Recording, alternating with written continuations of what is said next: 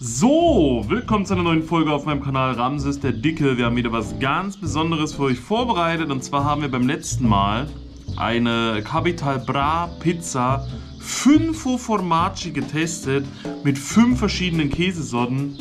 Nichts geht über Capital Bra Pizza, die hat bisher immer geschmeckt, egal welche Sorte ich hatte. Ist alles wahrscheinlich immer nur so limitiert. Haltet euch also ran, wenn ihr eine seht, probiert die. Ich habe aber jetzt was anderes gesehen, was auch gut zu dem Thema passt. Das ist mir ins Auge gestochen, weil es reduziert ist. Aus dem Lidl, Käse ist sein Lieblingsladen. Das ist diese Pizza hier. Das ist eine McKennedy American Way Stuffed Crust Pizza. Quattro Formaggi, also vier Käse. Das ist also der Vorgänger von der 5 Formaggi. Und es ist Stuffed Crust. Und Stuffed Crust heißt ja eigentlich immer, dass da nicht nur Käse drauf ist, da ist auch Käse drin, nämlich im Rand. Und der ist meistens wie Gummi. Du nimmst sie frisch aus dem Ofen, beißt einmal rein, sagst, oh, ist das lecker. Beißt das zweite Mal rein und sagst, hm, wo kommt denn jetzt der Gummilatschen her im Rand? Das ist immer ganz, ganz besonders, da muss man immer aufpassen. So, die war im Angebot hier, beziehungsweise war reduziert, keine Ahnung warum. Vielleicht ist sie über die, kann Pizza schlecht werden. 3,24. Ich habe noch fast ein ganzes Jahr Zeit, die zu essen. Statt 3,49 nur 2,44. Und das ist schon ein stolzer Preis für so eine billige Little Pizza. Obwohl McKennedy ist ja natürlich irgendwie eine Art Marke. Pizza mit käsehaltiger Füllung, im Rand belegt. Mit Cheddar, Edamer, Gouda und Pecorino Hartkäse aus Schafsmilch. Jetzt muss man die Betonung anders legen, dann heißt es nämlich Pizza mit käsehaltiger Füllung im Rand, Komma, nee oder auch nicht, belegt mit Cheddar, Edamer, Gouda und Perodings, weil die ist ja nicht im Rand belegt, ist ja anders. So, guckt es euch nochmal an, den Karton machen wir jetzt auf, holen die mal raus. Ich finde Lidl sowieso hat mit dieser McKennedy-Marke eine sehr gute Marke weil die halt immer so American Way Essen machen. Egal ob jetzt hier Nuggets, Pizza, Pommes, Zeugs, Chips, Gulasch, alles dabei. Aber an sich sieht die Pizza gerade sehr unspektakulär aus. Ich habe sie nämlich jetzt schon mal hier ausgepackt, aus dem äh, aus der Folie rausgenommen. Die, die hat so leichte, schöne Kristalle drauf, Eiskristalle.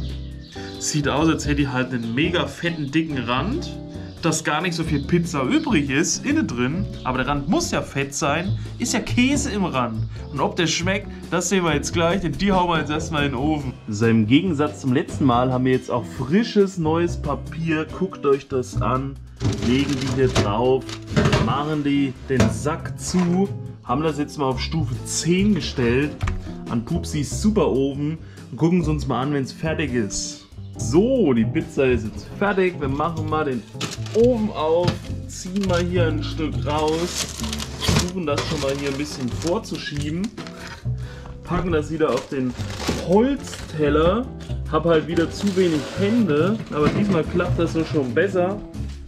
Was ist das denn hier? Geht mal weg. So, diesmal klappt das besser. Das schneiden wir uns jetzt durch. Und dann probieren wir das mal draußen, wie das schmeckt. Hab mir auch schon wieder diese Fuego Hot Jalapeno Soße bereitgestellt.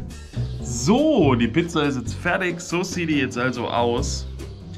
Und ich weiß ja, im Rewe gab es zum Beispiel auch immer eine Pizza Salami Stuffed Crust. Eine schöne Salami-Pizza, auch mit Käserand. Und die fand ich sogar ziemlich gut. Die habe ich mir öfters geholt. Das ist halt jetzt nicht Rewe, das ist keine Salami, das ist trotzdem Stuffed Crust mit Käserand. Wir gucken mal hier rein. Seht ihr den Käserand, ja? Ich sehe, da ist Teig. Der ist geschlossen. Ich sehe, da kann da gar nicht reingucken. Guck mal mal hier bei dem Stück an die Seite. Seht ihr den Käserand? Ist auch zu. Kannst auch nicht reingucken. Suchen wir uns mal was anderes. So, jetzt hier aber. Seht ihr den Käserand? Da hinten ist eine Höhle und die Höhle ist zur Hälfte mit weißem Gummi gefüllt. Das heißt, da ist Käserand. Das ist ja schon mal gut. Jetzt kommt es noch auf den Rest der Pizza an.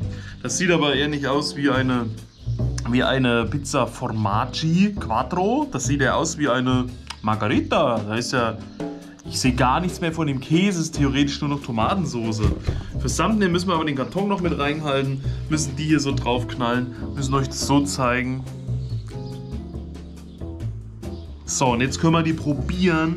Jetzt können wir die essen und ich glaube, so langsam gewöhne ich mich an die Location hier. Vor allem, wenn ich die Kamera einfach weiter vorstelle und ich weiter in euch drin bin, ist das ja so wie immer.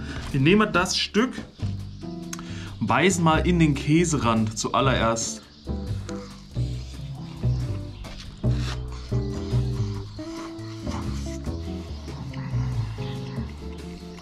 Wow.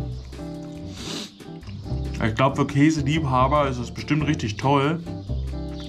Aber gerade im Rand ist so eine richtig bittere, strenge Käsesorte drin.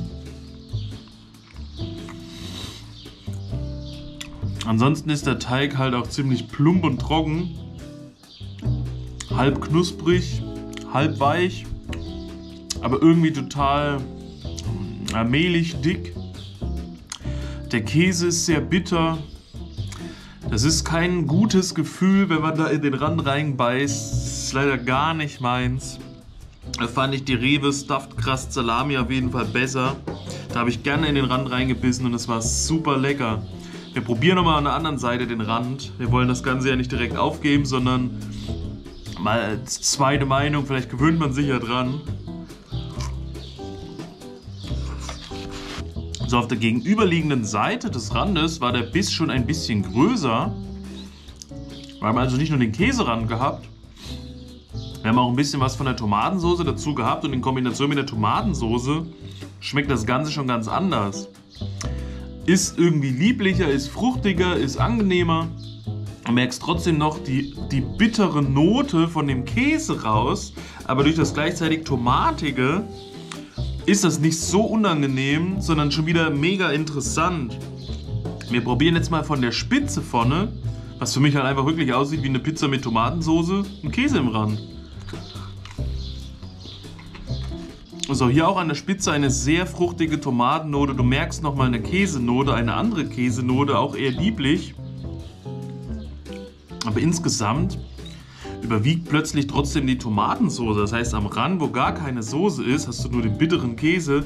Und auf der Pizza, wo die verschiedenen Käsesorten sind, merkst du so gut wie nur die Tomatensoße, weil der Käse gar nicht wirklich zum Vorschein kommt. Für eine richtig tolle Käsepizza würde ich dir also nicht empfehlen.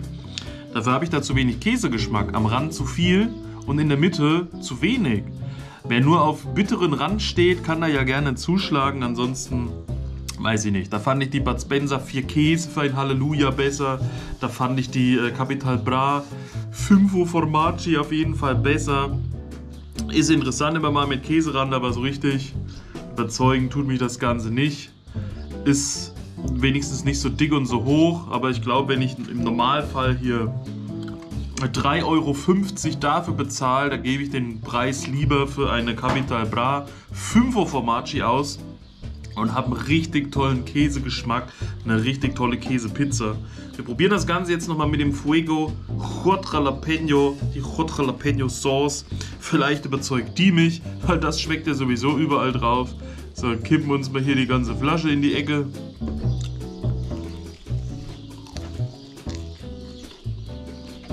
Ja, die Jalapeno Sauce macht halt nochmal eine Essignote dazu. Gibt eine kleine Schärfe dazu aber kombiniert sich auch nicht so gut mit dieser Pizza wie mit den anderen Käsepizzen, die ich sonst hatte.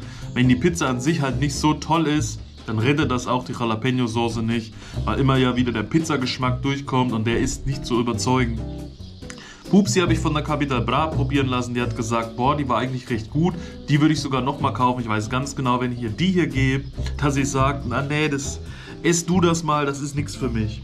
Ja, und dann setzt hier nochmal die Suppe drauf von der Jalapeno Sauce. Dann würde ich sagen, war es das von meiner Seite aus. Wir sehen uns beim nächsten Mal. Bis dahin, Peace out, Vorhaut. Euer Ramses.